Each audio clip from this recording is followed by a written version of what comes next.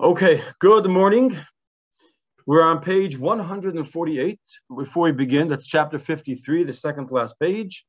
We're going to dedicate today's class to Nishmat Amelia Bat Yitzchak and Chana Bat Yechiel. Hashem should bless their neshamot and bless their souls and bless the families. So we're coming to, uh, I guess, a certain pinnacle, a certain point where we're going to sort of conclude this whole message, the whole theme, the whole point. And the Alter Rebbe is now going to really bring everything from the Tanya together. He's going to sort of come, all the things that he's taught and he explained in the last 53 chapters is going to come together as a final point. So just to remind ourselves of some of what was discussed in the last chapters, after the Alter Rebbe begins Tanya with a series of questions, and he goes and introduces the animal soul and then the godly soul, and he explains the the makeup of the soul and the struggle of the soul and the different roles of the soul. He focuses on the Beinani. The Beinani's job is to struggle with down to earth physical, meaning you're not going to change your spiritual identity necessarily. What you are, you are, but you could change what you do, your your thought, your speech, and your action. That's in your control. And he goes on and explains that the ultimate is the physical actions. Now you might wonder why is physical action so important? Why is it such a big deal to do physical actions? It should be the ultimate should be the spiritual connections, the you know the the the um, rich, meaningful experiences that are my heart, my mind, and my soul. Why is what I do so important? If I if I touch together, you know, El Esrig and the Lulav, if I light a candle, why is that such a big deal? And we went through explaining a number of points, but one of the primary points was and is that Hashem wanted a der b'tachtenim. He wanted physical actions in this world that will make this world a dwelling place for Hashem. That's only done through physical actions. As a matter of fact, we know one of the primary points of Chassidus, one of the great ideas in Torah, is what was accomplished at Matan Torah. There's a lot of discussion. What was the effect? What was the accomplishment of Matan Torah? Hashem gave the Torah at Har Sinai. I mean, on Simchas Torah we say that um, Avram celebrated the Torah, Yitzchak celebrated the Torah, uh, Yaakov celebrated the Torah, Shvatim. I mean, Torah existed and we studied it and we studied. We say, what did Yaakov do before? In this week's portion, we read, Rashi says he spent 14 years first in the yeshiva of Aver. Shem had passed away, 14 years in the yeshiva of Aver. What was he studying? Torah. So Torah existed. I mean, all the times you have, it says, as a matter of fact, he was saying Tillim. There's a whole discussion, which chapters of Tillim he said. So the fascinating thing is, so what happened at Matan Torah? And the answer is that there's different types of walls that separate things in the world. There are walls that you can get through, like the southern border, okay, whatever. There's walls that you can get through and walls you can't get through. There are some walls that no one can get through. One of them is the wall between spirituality and physical material world. Until Matan Torah, there was a wall, the Zera says, like a king that said, no one from this country goes to this country and vice versa. You can't cross the border, you can't go through. And anything spiritual not affect the physical. That means when Avraham or Yitzchak or Yaakov studied Torah and tried to take and do a mitzvah, it was impossible to transform the physical world. If they did a mitzvah with something physical, it could be thrown into the garbage afterwards. It couldn't connect. Spiritual and physical could not connect. Matan Torah was that Hashem empowered a Jew to change the world with Torah. You can affect the world. You could turn wine into kiddush, a bread into challah. You could make a, a leather into tefillin, a, a parchment into mezuzah, or you could use it, God forbid, for not good things. You could you could basically transform the world, lift up the world to make it holy, and that's not only through actions. It's the physical actions, which is why, by the way, on Shavuos, the day we celebrate the Torah, something very odd. There's a whole discussion in the Talmud if on Yom Tif and on Shabbos you have to eat food or you have to be spiritual. What's it about? Has to be Hashem? Should it be a day of davening a day of learning, or a day of enjoying food and wine and meat and rest, etc.? So there's a machlekes. But when it comes to Shavuos, everyone agrees you also have to have food. So the question is, Shavuos of all days, if anything, Pesach was a physical success going out of Egypt. You know, uh, Sukkot, we were protected by Hashem from uh, the elements. Shavuos is celebrating Torah. That should be the one day it doesn't. You don't have to have food. And the answer is no. The Matan Torah is not celebrating Torah, it's celebrating Torah's impact in the physical world. And that is only done if you interact with the world and you are with the physical world, which is why, by the way, a Nazir who abstains from having wine and abstains from having um, interaction with the world, he has to bring a sin offering. Hashem gave you a chance to elevate wine, and you can't do it. Don't hold back from interacting with the world, unless, of course, the medical issue or health issue, etc. But when you can interact with the world and eat foods, eat foods, make a blessing, serve Hashem, use the world out. That's why on Shavuos you specifically have a meal, and you have to eat a meal. Everyone agrees a meal on Shavuos more than any other holiday. And that's why today actions are so important. You have to do a mitzvah and impact and infiltrate and transform the physical world. After that, Alter explains, but that's not enough. You have to have feelings too. And he went through a whole series of chapters explaining that it's not enough to do things in action. You have to also have the feelings, the love and fear and God, of God. And that he went into a whole explanation is the wings. He says, what's the, the mitzvah is the bird, the action. The wings are the love and the fear, the feelings, the kavana, and that takes the mitzvah to a place very high. Meaning, what affects the physical world is the is the actions. What lifts that up and how high it goes is the wings. So once you have the action, then you must also have the wings and you must lift it up. But the key is the action. What happened through all this? Something very incredible. And this is why it's important for the chapter we're getting to. What happened through this process of Matan Torah was something incredible. Before Matan Torah, a Yid could connect to Hashem only through spiritual relationships. It wasn't some, I don't want to say magical, but it wasn't, wasn't some um, gift that Hashem gave the world that you can connect to Him. It was that the highest part of a physical, I don't want to say physical, the highest part of a created being could reach the lowest part of Hashem. And somewhere they could meet. The lowest part of Hashem, so to speak, lowest part, the lowest part of Hashem and the highest part of a spiritual truth, the essence of your soul, if you get really spiritual, really mystical, you can connect and touch somewhere in the middle. What did Matan Torah do? Just the opposite. The highest part of God connects to the lowest part of us. Not that the lowest part of God connects to the highest part of us. Matan Torah Hashem said, I'm coming down to the world. And my highest part, my essence, where am I found? In the actions of the mitzvahs. And that's that's found the lowest thing to do specifically not enough to think about it, not only to talk about it, but even do something, make an action, a physical action, and invest in the physical world. And the result is not that the highest part of us reaches the lowest part of God, but the highest part of God touches the lowest part of us. As we mentioned last week on the Mimer of this week's Parsha, that the ultimate goal of Yaakov, which represents the whole story mm. of Yaakov leaving Beersheba and going to Haran, is the Neshama coming down to this world. What was the ultimate goal of Vayetze Yaakov and Beersheba? Going out of Beersheba. What's the Sheva? We said the first line in Tanya. Mashbiyim Isai. We make him swear that you're going to be a tzaddik, meaning birth, when the whole journey, why are you're leaving with this burst of energy and influence and keches you're given, is to go vayikach avnei hamokim, take the stones of the place. What did Yaakov do? He took the stones, he made all the stones into one. As we know, in the, at night, it came as uh, multiple stones. Then it became one stone. And the morning he makes it into a mizbeach. It makes it a bayis lashem, a bayis lakim. He takes the ultimate, the the what's the ultimate in, in lowness is not only when it's material, but when it's fragmented material. The worst, lowest part of the universe is not only when it's uh, physical, and that in physical itself you have four levels. You have daimim, semeach, chay, and medaber. Daimim is inanimate. Semeach is plant life. Chay is animal kingdom. And medaber is human beings. The lowest of that is avonim, stones. And in that, the lowest is when the stones are fragmented, many stones. That is like in the world when you don't see the, the holistic oneness of the world and you see it all as a bunch of isolated details, unconnected. That's a that's a sad point of how to see the world. It's really one beautiful organism Hashem created.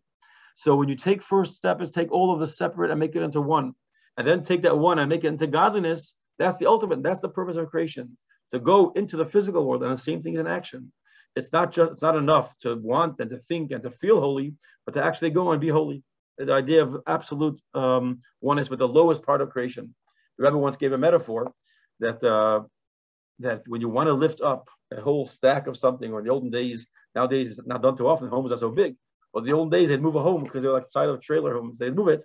The Rebbe explains they used to take a board called a lever, a lever, whatever, and stick it underneath. And then with the whole method, they turn it. How do you lift it up? You have to go to the lowest part. It. If you want to lift up the entire house, you have to go to the lowest part, and then everything is lifted up. And that's why they dug under the house before they moved it.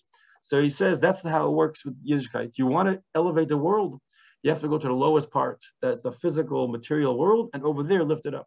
So that's where we're getting to Tanya here. We're getting to this last point of Hashem's investment and his coming down, the, the highest level of godliness. We said the Chachma, which is the Torah comes, we're talking about the Shechina, we're talking about its vessel that carries the Shechina, is Torah.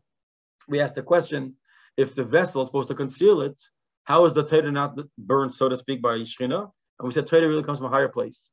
If it's from a higher place, so how is not burn us? Meaning Torah is the vehicle that carries the Shechina into the world. That's why the Shechina rests in the Chachma, in the in the Holy of Holies, in the Torah of each level. We said that we said the metaphor was the brain. In the brain of each world, that's the Chachma. That's what Shechina rests in, the Neshama rests in the brain. Shechina rests in Torah. If Torah comes from a higher place, why doesn't Torah burn us up? And the answer is because Torah has these two impossible extremes. That's what we're up to here. Torah has on one hand, it is the highest of the high. At the same time, it comes in to the lowest physical world in its form without being modified. And we'll explain that right now. Good timing. We explained that Torah has a phenomenal, unique ability. And where is it seen? We spoke about this earlier in the Holy of Holies in the Kodesh HaKadosh. The fact that the luchas didn't take up any space, at the same time, the luchas had to be a specific size. The luchas, had to be one and a half cubits by two and a half cubits or one and a half cubits. Nevertheless, it took up no space. It's impossible for the mind to grasp. The metaphor that we could use for this is what we spoke about in the Shabbos afternoon class, which became a good discussion. The idea of taking an elephant and putting it into the eye of a needle. The only way to get an elephant through the eye of a needle is two ways to do it. You can shrink the elephant, make it really, really small, or get a really big needle. Hashem puts the elephant into the eye of the needle without changing either one of them. The elephant remains the elephant, and the eye of the needle remains the size of the eye of the needle, and it still goes through perfectly. Something the mind can't comprehend. It's impossible. But that's what happens, and that's Torah. Torah is on one hand, it is the highest source, the most elevated greatness comes from uh, Reshud Yada, which means the top of Kesser, the highest point, and it comes down to the physical actions that some person, as we said a couple lines ago, a person is sitting and being involved in Torah. The Shekhinah is there, so we say, what does it say yeshiv, sitting? Sitting is an act of the least involvement. Now, sometimes you, uh, could you get me there? Sitting means I'm in a lazy mood. Could you get me? You're two feet away. You can't get up. I'm in a zone of laziness when I'm sitting. That's how it is. It's a, at least I can tell you from experience. A lot of times, last my kids they pass me something, and they're not even near the table. I just, I'm not in the mood of getting up. Yeshiv means I'm not putting effort in. Even a simple study of Torah, a simple learning without major effort is drawing down the highest levels of Kedusha into this world. And that's what we're discussing here. So we're going to go back a couple lines because there's some very beautiful points here that we can explain a little bit more than we did last time. So it's on page 148, the second last page of Tanya. Mm-hmm. And we're going to. Um,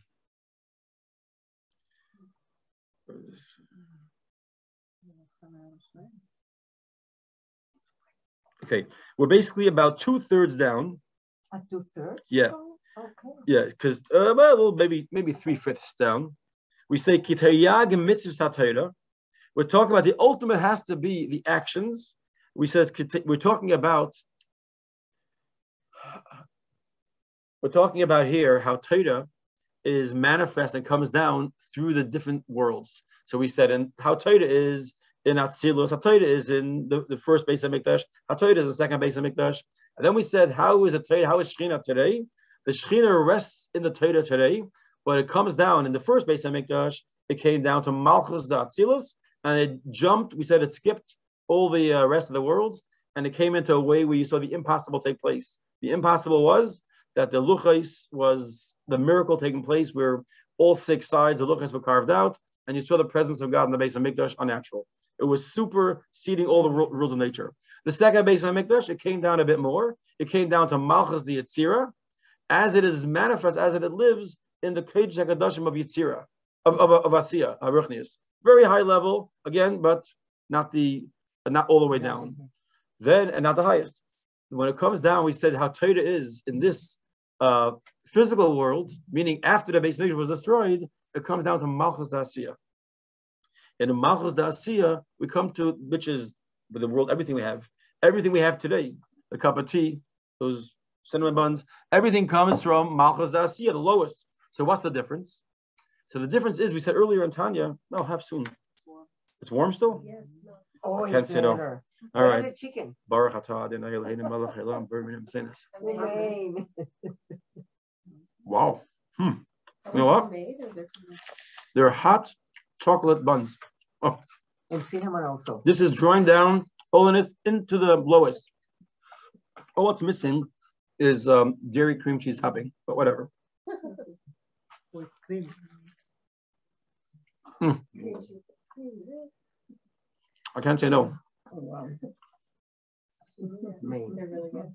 Uh-huh. Okay,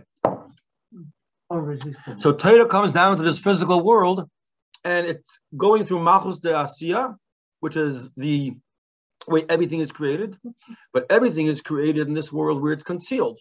What's the primary difference? The Alter Rebbe said earlier, I think it was in chapter 35 or 36, around there. He says, in all things in this world, while it's true, it comes from Malchus de you don't see it. When you see a chocolate Danish or you see a cup of coffee, you don't see godliness. What you see is a cup of coffee. If you think about it, you could find a way to use it to serve Hashem. Exactly. There are certain things, like in Torah, where it's clear. You see a mezuzah, you see godliness. You see a parrot fill, you see godliness. You see a lighting Shabbos candles, godliness. Meaning within Torah, you could see what does godliness mean? Godliness doesn't mean that I see an angel, I see some spiritual wispy cloud of you know um, some mystical stuff. It means I see God's purpose and God's plan and God's intention. When we say everything is godliness, we mean that could I see within this God's purpose of creating the glass cup and the tea, etc., or do I see it as just some thing that I could enjoy disconnected from God? So it's very easy to see it disconnected. Whereas in mitzvahs, you don't see it disconnected. You see it connected to Hashem. So the all the other things in this world that come from Malchus Dasiya, you can't see godliness in it. In Torah, it's revealed. But now I'm going to take it a little bit further. Kitayag mitzvahs HaTorah, the 613 mitzvahs of the Torah, Gekulan, and mitzvahs Maisias, are all talking about mitzvahs that have actions associated with it. Almost all of them. There are a few mitzvahs don't have an action. For an example, to love Hashem, to fear Hashem, and even those have to be to a point that affects you. You can almost feel a quiver in your heart or a little bit of a inside uh, sensation, but they don't have an action related to it. Now the Alter Rebbe is going to say, this is where I wanted to start from today. Even those mitzvahs that are connected to speech and thought, which are not action necessarily, like learning Torah, or berachas hamazon, saying the blessing after eating. That's a biblical commandment to bless after you eat. Krishma saying the Shema every day is a biblical commandment to say Shema once in the morning, once in the evening. Utfila, the mitzvah of saying Amida, to pray every day, that's the Amida. Halkaimalon, we establish, even though we said here, Lav Kedira Dame,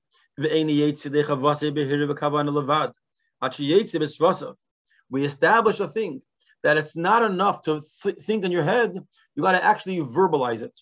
And we have in this uh, this Tanya, this, these two lines here, the Alter Rebbe uses the word v'kaimalon, and we establish it. He says it twice. Once here, we establish that thinking is not enough. We got to say it. V'kaimalon that kivas vasav haviyamaisa. And we established that moving your lips are an action. What's he referring to? Why does he say v'kaimalon twice? So there's two different gemaras that the Alter Rebbe is referring to here. Very interesting gemaras. One is a machlekes amongst the sages in the Talmud. When you say the Shema, you have to say the Shema actually and verbalize it, or you can say the Shema like we read, uh, you know, the ingredients. So we just use our eyes and we think about it. How about if I say the Shema by looking at the words and thinking about it? I'm thinking about um, that we should realize and understand that Hashem is one, and all the things He created in the world at different levels of spiritual existence are all part of His oneness. Nothing else exists aside from Him. And I think about that. What's what's what's the mitzvah? To think about it or to actually just say the words? So the machlekes is: Do you have to say the words too, and you have to think about it? Everyone agrees you have to think about it. The machlekes is you have to say the words too, and the Gemara Paskins, the decision halach is you have to say the words. Why? Because moving your lips counts as an action, and you have to do a physical action in doing the mitzvah. That's one Gemara. Another Gemara has the argument, a very interesting Gemara, and that is when it comes to the mitzvah or the or the negative commandment that you're forbidden to muzzle your animal when he's in the threshing floor. When an animal comes and works in your field, there are certain times that you're not allowed to muzzle the animal because the animal is working amongst, let's say, grain or corn, and he looks at it and it looks yummy, and you're forbidden to muzzle him. It's, tor- torture. It's like you know, giving taking your kid into the dollar store, not buying him some piece of gar- some piece of junk that you know. Yeah, how could you say no? It's a dollar store. He expects to buy something. You could take him into the kitchen when you're you're making uh, cookies. You have to give him a cookie. You cannot muzzle the animal. There is an option, of course, to put on a bucket of food separate. That's fine. We can't muzzle him. So the questions like this: What's a person doesn't muzzle his animal, but he emotionally and mentally messes with the animal that he can't eat by saying things. Every time the animal puts its head down, you scream, you make a noise, you yell something, and the animal can't eat because of your words. Is that also called because a mitzvah or a sin has to be an action? If somebody thinks about sin, that's not called sin. You could you could imagine sin all day. You're walking into a place, you're buying a big cheeseburger, you're biting into it. You didn't do it, it didn't count. But what's if you actually do it? It's a sin. So by the animal, if you muzzle it and you don't, but not with a physical muzzle, but you basically, it's called verbal abuse. You basically say things to harass the animal that he can't eat. So there's a machlekes, and the psaktin min halacha is verbalizing a by muzzling by verbal um, action is also considered verbal is also considered muzzling because moving your lips is an action, and you transgress. That's the halacha. So it comes out two things Al Rebbe is showing us that we find in halacha that using your lips is an action. So when we're learning Torah, or you're in shul at your davening, or you're participating in any sort of Shema, Amida, Talmud Torah, Birchas Hamazon, blessing, you must also say the words because that's called the action, and it draws down the kedusha actually into this physical world. So you see what is what's the point that you see that all of the mitzvahs have to come down into a level of action. Did they say Shema? Uh, Yeah, Kishma. during the Beis Hamikdash? Yeah. Shema is a mitzvah from Shema is a mitzvah from the time of, as a matter of fact, there's a story of Yaakov Avinu saying Shema. You know the famous story when Yaakov and Yosef meet. Of Mm. he he was saying Shema. But no, no, not, not with Baruch Shem. When Yaakov and Yosef meet after being apart 22 years. So it says that Ya- Yaakov, Yosef cried in Yaakov's shoulders, but Yaakov didn't cry back. So he says, why not? He was busy saying Shema. There's a whole discussion. How did he end up saying Shema just at that time? But he was saying the Shema. Shema was being said, oh, it's a mitzvah of the Torah to say Shema. The biblical commandments are Talmud Torah, uh, Birchas Hamazon, Shema. That, these are all actual biblical commandments. Okay. So the 88 say, Chevas, now he goes and explains, but Hayag mitzvah Torah, we want to explain something phenomenal here. We want to explain there's an advantage not only in Torah, Shebek, we said the Torah Shebeksav was one thing. Mm-hmm. Remember, we divided things up into three levels based on Bria, Yitzir, and Asiya. There's the written Torah, the Mishnah, and how the and the or I say the written Torah, the logic, and the halacha. There's the Gemara, the written Torah, and the oral Torah. So what we want to say here now is explain that where do you really find the essence of God? More than the written Torah, you find it in the oral Torah, and more than that, you find it in the halacha. So that's what we're going to go now and show at this level, just like you have action, which is the Torah has to come down into the world of action. When it comes to Torah, Torah has to come down also not just in Torah Shebeksav, also Torah Shabal Peh and halacha in law. So it's not enough just to have the written law; you have to bring it down. Mm-hmm. So he explains. With Hayag and mitzvahs Torah, im sheva mitzvahs gematria keser, the 613 commandments and the seven mitzvahs derabanan equal the level of keser. What's the Alter Rebbe trying to tell us? So first of all, let's talk for a second about the seven commandments. Is a good way uh, to remember it. They say if you want to remember what the um, uh, seven rabbinic commandments are, the code is na besimcha. I think it's na besimcha. Nun ayin beis sin sin mem ches hayeh. Na besimcha. Nun is um, netilas yadayim, so you have to wash your hands. Ayin is erevin, the mitzvah of making an erev. That's from the rabbis. Besimcha, beis is bracha. The bracha we make before meals is rabbinic. After you eat, the bracha is biblical. You have to make a bless. You have to. The rabbi said the amount. What's the amount? But after you eat, it's a biblical commandment. Beforehand, the rabbis invented it. You have beis. Sin is Shabbos. It doesn't mean the mitzvah of Shabbos means Shabbos candles. Mem is Megillah, the mitzvah of uh, um, reading the Megillah Purim. Ches is Chanukah, and Hey is Hallel. These are the seven mitzvahs the rabbis added on. These are the ones that are not. There are other commandments the rabbis enacted, but those are all hinted to or taken as something from the Torah. These are seven things not hinted to in the Torah, pure inventions of the rabbi, and they become part of it. Why is it so important? It's with these seven that the word tayag becomes keser. What's keser? Keser gets to the advantage of a mitzvah over Torah. What's the difference in mitzvah and Torah? Torah is chachma. Torah is wisdom. Wisdom is found in the head. Keser is a crown. Keser sits above the head.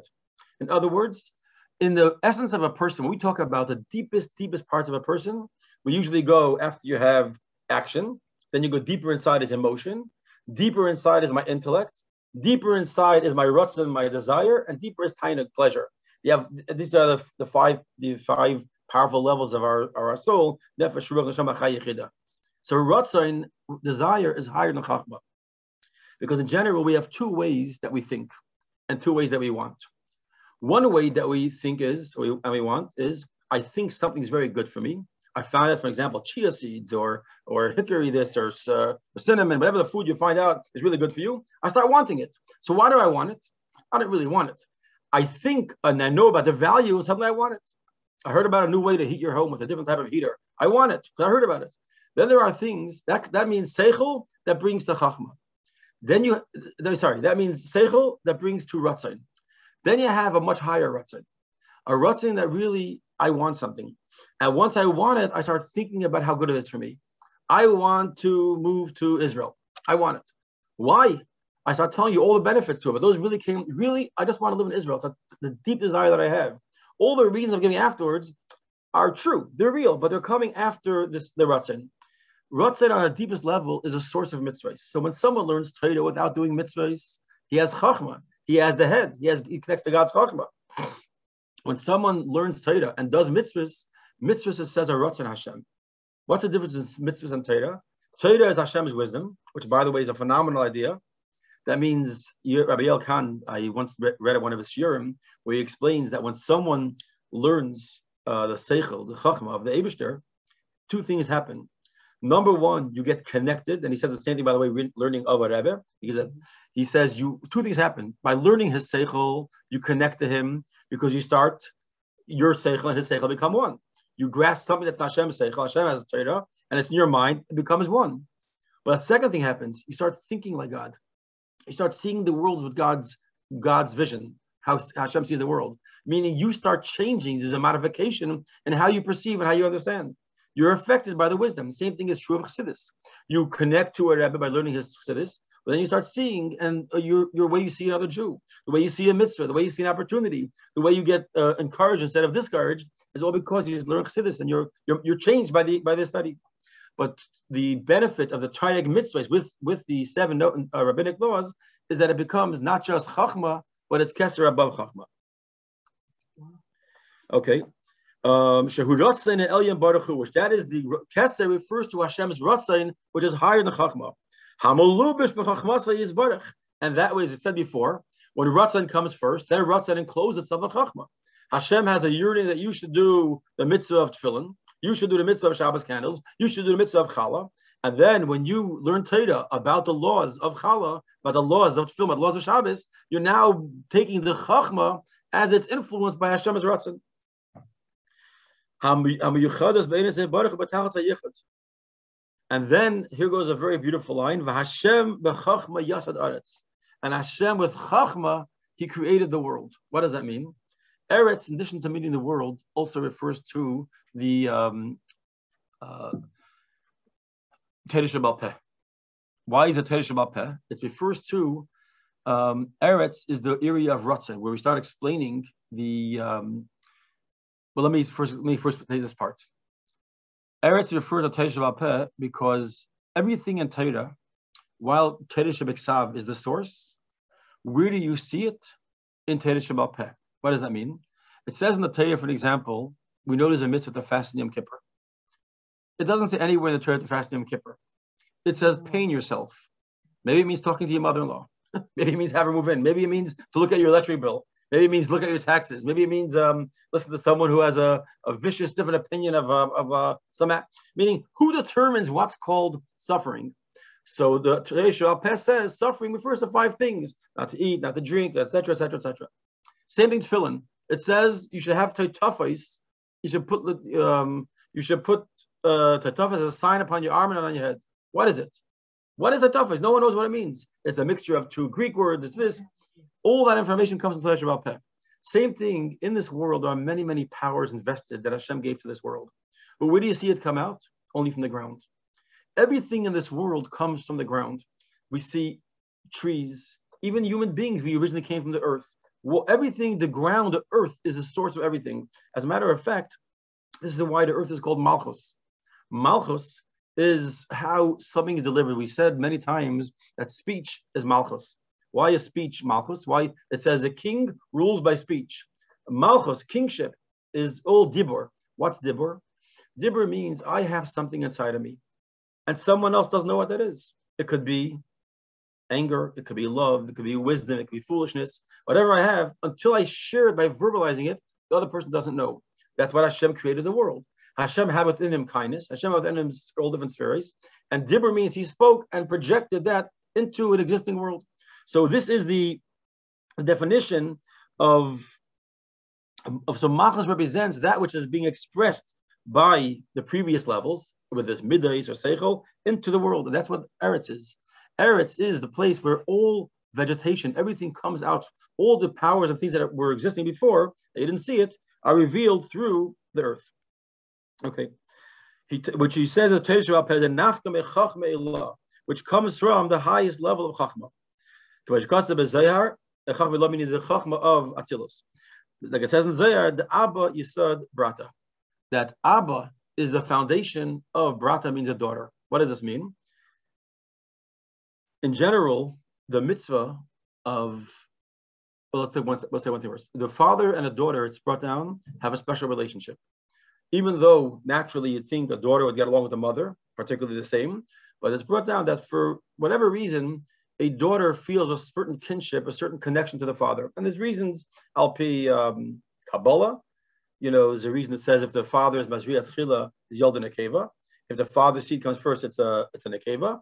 But also Kabbalistically, there's a connection with the father and the daughter, which biologically comes in a certain relationship that a, a bond that a father and daughter can have. It's unique. Doesn't mean it's always going to be there, but it's a very beautiful thing, the relationship that can be there uh, to consult, to confide, etc. On a spiritual level, it means that Chachma expresses itself particularly in Malchus. Where do you see the ultimate expression of Chachma? And as you know, Malchus is Dibber. Where if you want to know where is wisdom expressed? In speech. The ultimate place where you can express wisdom is speech. But um, what he's referring here to, Malchus is the earth. Malchus is an earth, we said, refers to Teresh Peh. Where do you see the true expression of Hashem's wisdom is specifically in Teresh Peh, which of course is the lower worlds of Asiya. Yeah, these three lines are quite uh, deep in Kabbalah, but the, the point is, as a matter of fact, it says that um, the mitzvah of having a family is the mitzvah of a, a family creates Hashem's name. We know Yud is Chachma's father, Hey is Bina the mother, Vav is the midah, the son, the six middays is the a, a male boy, and Malchus is a female child meaning the family structure. And when a family gets along, it shows what does it mean when you have a family getting along shalom bayis that it's a good thing. It's not just a husband and wife; it's the whole family, because then Hashem is the home complete. You know, we, we take sometimes a yudke vavke as a nice, sweet things, but they're they're profound in its effect of our our connecting to Hashem is the aspect of a father and a mother and a son daughter get along. That is Hashem's name is complete. The Baal I think we spoke about this a long time ago, a couple years ago. Hashem once told us Chassidim that he once explained to them how really Hashem's name is found in every mitzvah. And he said, what's Yud K Vav K in the mitzvah of tzedakah? That a person takes his a coin, which is a little that's a Yud. You put it in your hand, which has five fingers, a Hey. You stretch out your hand, which is a Vav, and you put into the hand of a poor person. That's Yud K Vav K. It's Hashem's name. So in every mitzvah, we can explain how you see the Yud K Vav K. So this is the, the connection of the highest level of godliness coming down to the lowest level of Eretz into Malchus, into the halacha. So just to finish this point, we're going now to the next and final section of Tanya. To explain this point simply, is that Hashem did the impossible. He took the greatest of the highest, loftiest essence of himself, and he injected in the lowest part of existence of Torah, and it's the actions, the physical. Imagine if there's a part of Torah that my mind can understand. Imagine how distant that is from the essence of Torah. Because just take for an example, we use example many times, Einstein. When Einstein wants to share something with a kid, imagine how little of what he's sharing with the kid, the kid, and the kid can understand it. The kid doesn't understand it. You know, a lot of times I remember in yeshiva, the t- teacher said something in Gemara. I have no idea what he said, but I can repeat it. I have no idea what he's talking about, but I can say it over, and that's because I don't know what he's talking about. Repeating something, no problem. That's what we said. That's the benefit of Torah Shabbat Torah Shabbat means I have to understand it too. My mind got to grasp it. That's the beauty of Torah. I have to understand it. Otherwise, it doesn't count as learning. Imagine how small of the information in Einstein's head is being transmitted when a kid can understand it. Now magnify that a couple of billion times. Hashem's wisdom that a human being can understand. Imagine how small that is. Nevertheless, it's never lost its undiluted power. And this is the blessing and the impossible miracle of Torah that we have today in our world. That Hashem took the great essence of himself, injected it, like it says, Anoichi, the first word of Ten Commandments, is Anoh, Nafshi Ksavas Yahavis. I, my soul, I'm writing, I'm putting myself, God says, into the letters. And when some little boychik is learning Chumash in class, he's bringing down the essence of Hashem unfiltered, but it doesn't pop his brain, God forbid, because it's Hashem at the same time allows himself, like the uh, elephant through the eye of the needle, he allows himself to go through and make it through the needle gently. The needle doesn't feel any discomfort. It makes it right in and doesn't have to stretch. It's comfortable because the elephant didn't change in size but Hashem made it fit comfortably inside the eye of the needle. And that's the miracle of Torah that we learned today. And with that introduction, the Alter Rebbe can answer his question that he asked three chapters ago. He wanted to understand a certain question. He brought the story of a very fascinating story of that little boy, Hayanuka, the son of Rabbi Hamanuna. Whole fascinating story. We spoke about it uh, a couple months ago.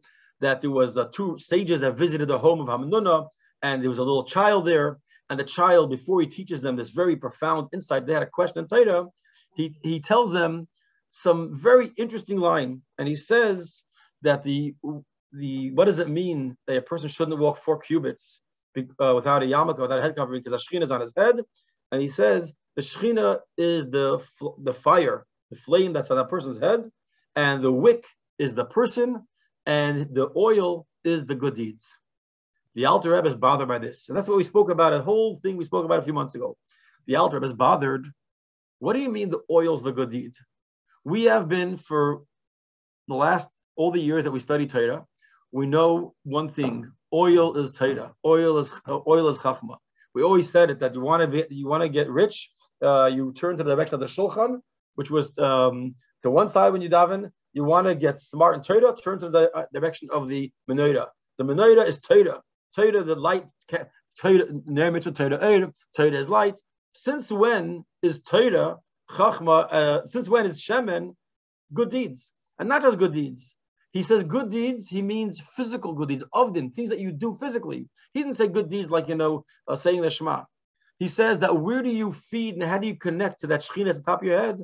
With the Shemen, he says, is the physical body or the or the vital soul. Nefesh is part of the animal soul. The animal soul, if you remember, has three parts. It's the animal soul, the vital soul, and the natural soul, known as Nefesh HaBahamis, Nefesh HaChienis, and Nefesh HaTivis. The Nefesh HaChienis, or the person that's that's your biological soul. And what keep what's the electricity in your body? What keeps you alive? Nefesh HaChienis. That is this doing a mitzvah with that feeds the Shechina. He says, why is that called Shemen? Shemen is always referred to Torah. We know on Hanukkah, we're going to come to Hanukkah soon. We're going to have the whole thing was the Greeks wanted to they wanted to be matame, they wanted to make impure our shemen, our oil. What does that mean?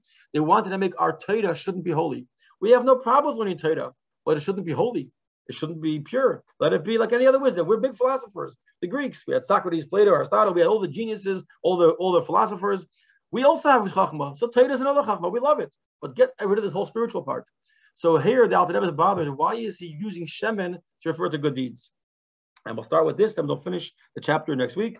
This is what the young boy, this brilliant spiritual child, says.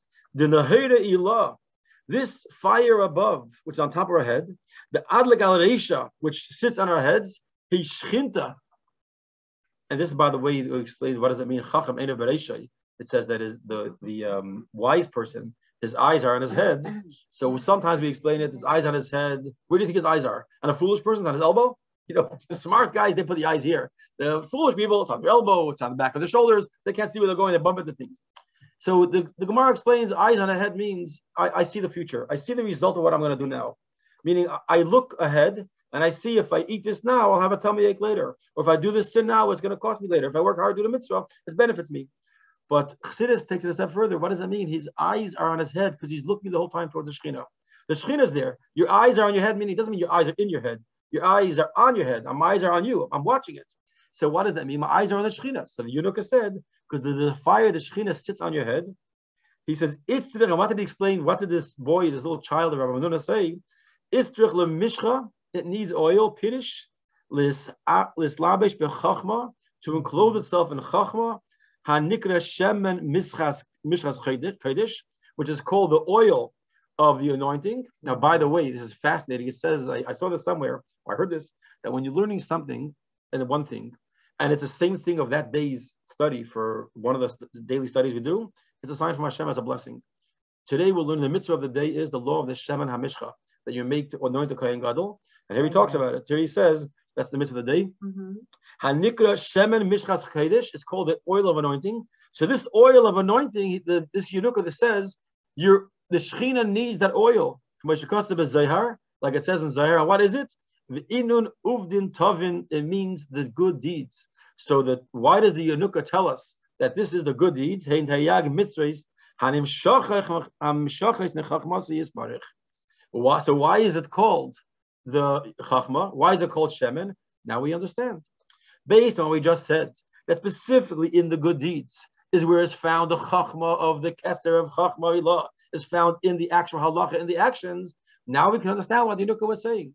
You know how, you know how you, the Shechina sustains itself. You know how it, you know how the Shechina sustains itself in your body is when you do good deeds. And our question was, why good deeds? Torah. What's Torah? Torah is Chachma. But where do you have the strongest dose of the Chachma of Torah? How it expresses itself in the good deeds that you do in the mitzvahs Maisies, because it has the benefit of Keser as expressed in Chachma, etc. So the, what we tried, these three chapters that we just had explaining this whole idea of how one place can have more sanctity than another, how can Hashem Shekhinah be one place? Now that we understand what Shekhinah is, now we understand what Torah is, where is Torah expressed most? In the actions and the halacha that we do. And when someone does a physical action, it draws down the Shekhinah, draws down Torah in its strongest, most powerful way. And that's what the Yenuka was saying. That's what the young child was telling to these two rabbis that came into his home, that they came to visit. And then he, of course, teaches them the primary teaching that they came for. This all is expressed and uh, uh, is experienced specifically through our physical actions of doing a mitzvah. So, just a point to take everything we said, meaning from the entire Tanya, before we go to the last point. Basically, what we're saying is ultimately the ultimate way to draw down God's to draw down God in this physical word, world, is when we do a mitzvah, of course, infused with feeling, with awe, with love and fear of, uh, of God. But we do the mitzvah in its physical action in the lowest form possible. Not just that we do it because we understand. What's lower than what's what's greater than understanding? Meaning what's coming down even lower? Not because I understand. So meaning why at the end of the day am I doing the mitzvah? Not because of the wisdom, not because it makes sense to me, because Hashem said so. That means I'm doing it. The lowest part of the person is called bittul. I'm doing it not because I understand. I do understand. I know why you want me to do it. Imagine you, you listen to a parent or a commanding officer or someone older than you, and you say, I'm doing it, even though it makes sense to me, that's why I'm doing it, I'm doing it because you asked me to do it. In other words, it's a much greater putting self aside. I'm tapping into the lowest part of myself, meaning it's complete bittul. I'm acting low. I'm not using my seichel. I'm not using my emotions. I'm, I'm using those too. But that's all based on my bittul, my lowest part of myself that I'm doing because you said so, without my understanding. And this is what draws down Hashem into the dir into this world in the strongest form. To explain this properly a little bit more, next week we'll conclude the Tanya. We'll um, have to have everyone should prepare a little something to eat because whenever we finish a large study of Torah, we should do it with a, a, a. So next week we'll do the last 15, 20 lines of Tanya, concluding the 53 chapters and about eight or nine years of study. And we'll start, God willing, a fresh start right after Yud Tes Kislev. So looking forward to seeing everyone next week. It would be a very uh, good source of nachas to Hashem that we um, did this um, study. And um, if you're here for part of it, if you're all of it, you're all part of the celebration. Um, it's it's because even those of us like myself, who I actually came to all the classes, but um, a lot more I can understand that I don't understand. So so um, we also learn part of it. Anyway, looking forward to seeing everybody next week, and that will be um, next Wednesday is the 13th. Oh, that's a good day. We'll talk about it. The 13th of Kislev is a good day on the Chabad calendar, as the 14th, the 15th, the 16th, the whole month is. But Kislev is packed with good deeds, and Hashem should bless all of us to have good health and nachas and happiness and continue learning. Amen. Thank you.